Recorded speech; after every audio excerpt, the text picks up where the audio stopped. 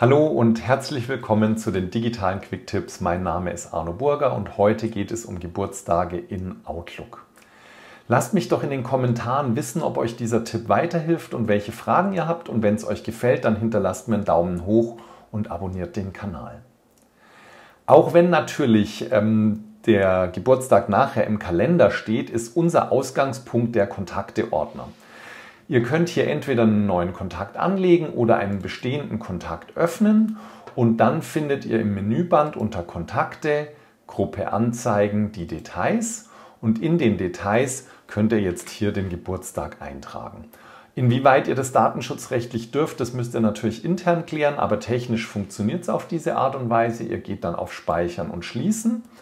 Und jetzt wird im Kalender, in eurem eigenen Kalender, eine Ereignisserie für diesen Geburtstag angelegt.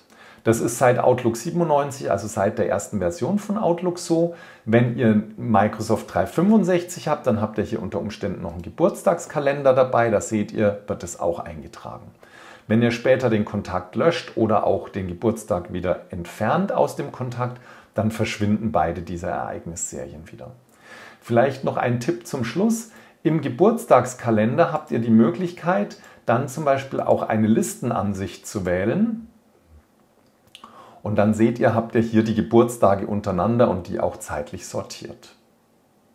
Danke fürs Zuschauen und viel Spaß beim Anwenden. Bis zum nächsten Video. Ciao, euer Arno.